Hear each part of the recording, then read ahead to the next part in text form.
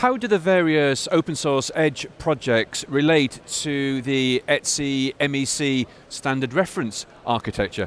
Okay, thanks for joining us on TelecomTV. Yep, okay. Good, good to see you.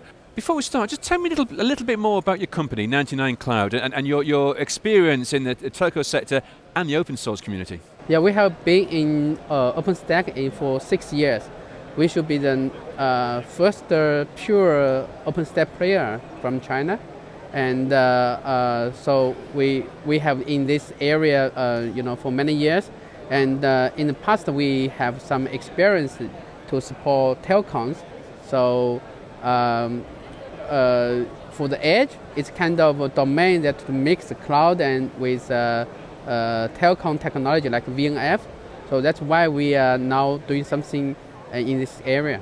Why is the MEC reference architecture um, well, first of all, what is it, and, and why is it important that the open source community and their projects are aware of it and understand it? ETSI is a kind of a reference standard. And you know, in the uh, telecom domain, there are some standards which is like a, 3GPP uh, is kind of mandatory standard, but ETSI is a kind of reference. Is we can, uh, it's something is recommended, but it's not mandatory, and it's a kind of guide to telecoms to build a framework of uh, uh, edge computing. So far, we have some concept in edge computing, and we also know the scenarios in in different uh, uh, business cases to enable edge computing to serve different purpose. But uh, um, to telecom, they need a platform to manage different uh, edge uh, sites or uh, maybe thousands of or hundreds of applications. So they need a unified or centralized uh, platform to manage those uh, um, data centers, edge data centers, edge infrastructure, and applications. So the ETSI uh, MEC architecture uh, or reference architecture are the only existing uh, architecture that we can reference to build a future edge system uh, for telecoms. Now, in your presentation here at the OpenStack Summit, you were looking at three open source edge yeah. projects, yeah. Akraino, StarlingX, and, yeah. and OpenCORD. They're all different, but they're all important, I guess, to, to telcos. How, how how did, what did you discover? How, how do they sit together? Do they complement each other? Are there overlaps? Are there discrepancies?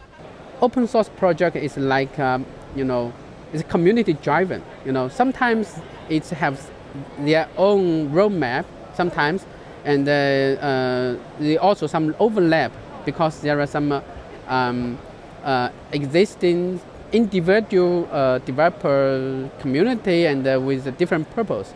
And Edge is kind of combine of different technologies. So uh, the, the three projects you mentioned, like Akraino, Akraino actually was uh, um, you know, launched from AT&T, and uh, X actually is uh, from uh, Intel and uh, Wind River. They opened their NFVI infrastructure to the uh, Open, OpenStack Foundation, and Airship actually led by AT&T. It's, this is this is a tool to deploy 5G environment in their production. So those projects actually now is a part of Edge, but this is not all. Uh, you know, if we looking in, into an entire uh, Edge platform, so they are part it can be the start point for Edge uh, because uh, if we look into the ETI size standard, actually it includes three three different life cycles. One is for edge infrastructure, for the most we call edge NFVI. Another is for the uh, um, application life cycle, and uh, the third one is for the VNF life cycle. So those three life cycle management is very important to Edge.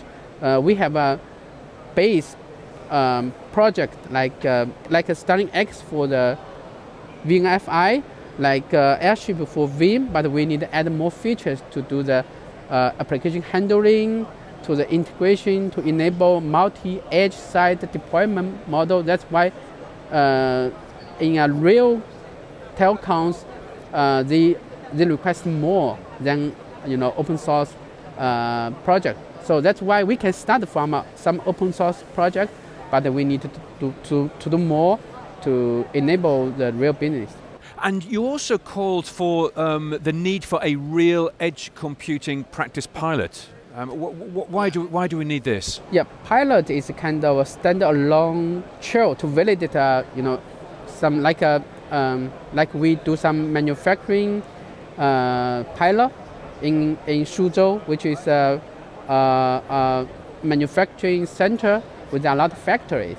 And the pilot is to validate the business model, like uh, we enable big data analysis, AI analysis for those factories.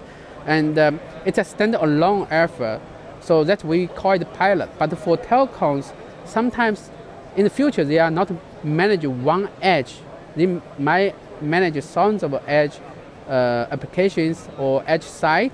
So they need a unified platform to manage that complexity environment. So why we call it pilot because it's a, it's a, to validate the business model, and uh, but uh, in the future they need a, a, overall management platform to to you know manage different uh, um, edge uh, scenarios. Well, Kai, thanks for joining us today on TelecomTV. Much appreciated. Yeah, thank you.